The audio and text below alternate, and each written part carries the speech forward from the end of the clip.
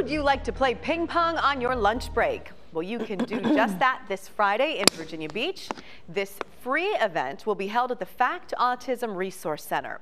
FACT plans to add a ping pong program, so it teamed up with local nonprofit Ping Pong for Charity.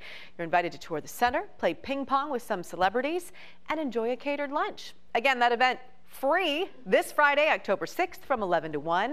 Head to the FACT Autism Resource Center on Virginia Beach Boulevard. We have registration details for you on wavy.com. In the meantime, this all kicks off the Ping Pong for Charity weekend. The organization raises funds for mental wellness through playing ping pong. The weekend of events includes a pig pickin', auction, live band, charity tournament, and more. For the cost of tickets, dates, and times, head to wavy.com.